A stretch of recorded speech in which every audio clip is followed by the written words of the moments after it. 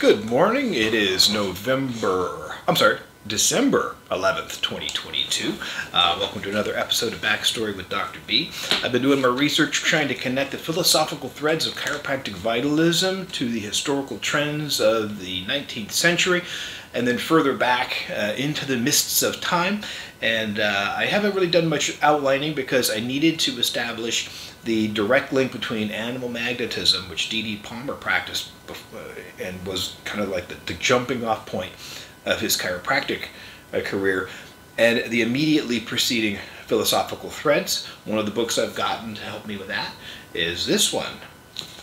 Mesmerism and the American Cure of Souls. Just picked it up from the uh, New Zealand National Library. Used to be an old library book, 1982 first edition. So uh, the parallels between the formation and then the vilification, uh, I'm sorry, the formation and the vilification of mesmerism with chiropractic are uh, quite interesting, especially considering D.D. ended up practicing it and had a lot easier time practicing magnetic healing than he did uh, when he started practicing chiropractic. I'm going to read a couple of passages from the book uh, just to kind of let you know kind of some of the stuff I'm thinking about. Um, so, um, in the forward, let's talk a little bit about American medical practice, um, or European really. Before 1876, when Pasteur and Koch finally isolated the role of microorganisms in producing disease, there had been a great deal of confusion as to the means of arriving at a competent diagnosis, let alone effecting a cure by the medical doctors. Whether out of philanthropic naivete or pecuniary self interest, doctors of the people capitalized on the pervasive physical suffering of their peers. A much abused and fad weary public learned to regard medical science with a cynicism mitigated only by its desperate desire for a more reliable program of cure. In other words, people were disgusted with the medical profession. They were told that masks worked. Oh, I'm sorry. Um, they were told that. Um, uh, you know, bleeding worked. Uh, they were told that standing 15 feet apart was going to help. They were told that if they took the vaccine, that they would not transmit. Um, I'm sorry, I'm sorry, I'm on the wrong page. I'm, I'm, I'm back to mesmerism now.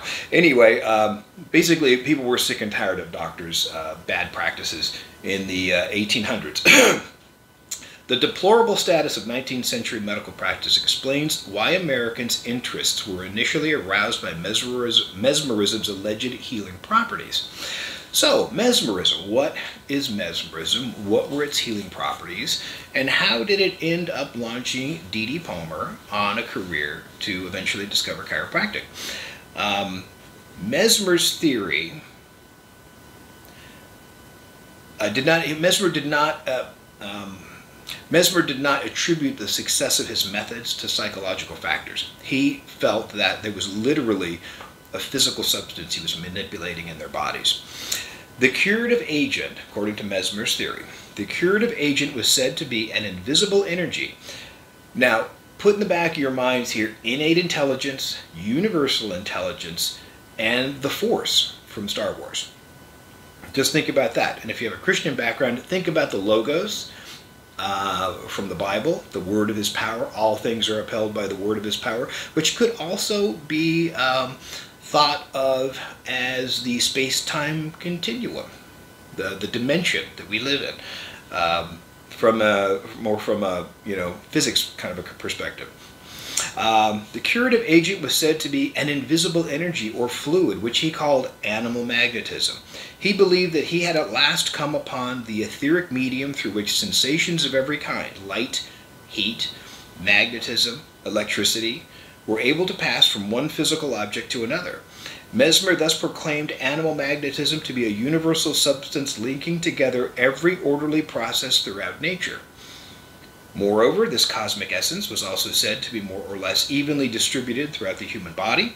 If for any reason an individual supply of animal magnetism were to be thrown out of equilibrium, or more bodily organ oh i'm sorry one or more bodily organs would consequently be deprived of sufficient amounts of this vital force and would begin to falter since there was only one cause of illness it followed that there was only one truly effective mode of healing the restoration of equilibrium to the body supply of animal magnetism. Simply put, Mesmer believed he had reduced medical science to the passing of magnets over the patient's heads in an effort to supercharge their nervous systems with this mysterious yet life giving energy. If that is not almost exactly chiropractic philosophy, boiled into a, you know, boiled down or using other phrase, I'll, I'll eat my hat. It is just uncanny how similar it is. Next quote. So there, there we go with that. So what is mesmerism? There we go. All right. Mesmer's theory, thus in one quoting, thus in one Panacean stroke, lovely pun. Mesmer's theory brushed both medical science and religious supernaturalism to the side. The doctrine of animal magnetism reduced nature's established means of regulating physical and human affairs to a simple formula. Mesmer had laid hold of a principle that deflated the pretensions of rival healing systems by substituting, oh, by subsuming them under one grand Drop doctrine. There is, he pontificated, only one illness and one healing. The obvious implication was that conventional medicine was largely useless. Any therapeutic value attributed to either religious or medical healing practices was owing only to their indirect effect upon the patient's supply of animal magnetism. Mesmer's methods were more direct. With sufficient concentration and willpower, a healer could capacitate, store, and transmit potent energies from his own person to the patient. And that is that that is exactly what D.D. was doing uh, when he was practicing as a magnetic healer. His method was for his patients to lay on the table. Uh, he would deduce the organ that was out of balance, and he would put his hand on both sides of that organ, and for 15 minutes beam his animal magnetism into that organ. And for eight years, he made bank doing that. In the in the uh, late 1800s, he had a whole floor uh, in Davenport, Iowa, and the Brady, I think it was the Brady Building, electric lights, electric heat. I mean, he was he was doing okay. He was doing okay. So let's keep going. Oh, so success breeds opposition, and particularly people who have, uh, particularly people who have uh, a lot to lose. And so the scientific community in France decided to come against uh, Mesmer and they did an investigation and formed a committee. Lavoisier, Benjamin Franklin was involved, although as usual he did no work. Um, they pulled together uh, this hundred case studies that were actually being treated by these um, by these uh, mesmerists. Quote: All but six had already evidenced marked progress. Over one half claimed complete cure.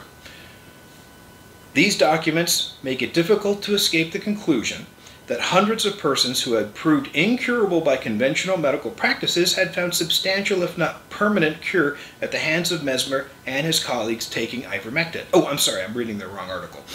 Just how to interpret these cures was and still is another matter.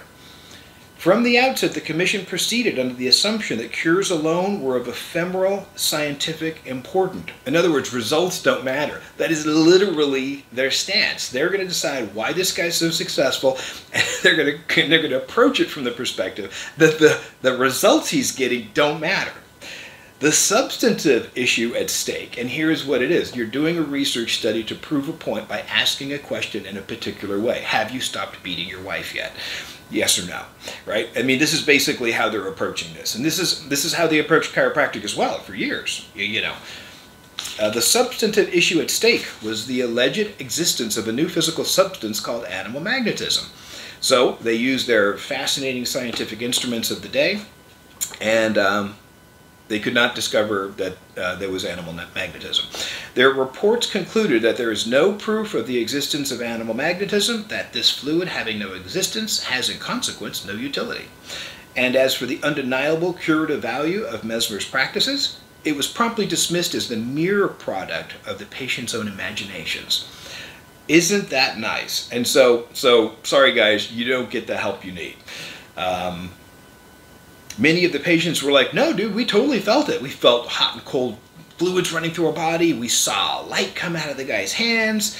Such phenomena were obviously the products of overactive imaginations. Unfortunately, no one paused to ponder just what a wondrous faculty the mesmerist had demonstrated the imagination to be.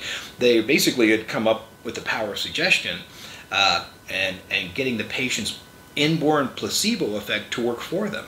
You know, the placebo effect is not your enemy. It's 50% effective. If the patient has a modicum of confidence in your ability as a doctor, you're going to get 50% results guaranteed because people want to be, by and large, helped and they will they will they will help themselves, but sometimes they need permission, and that's oftentimes what we're doing. That doesn't mean our techniques don't matter and that we haven't parsed out the most effective ones in an objective way.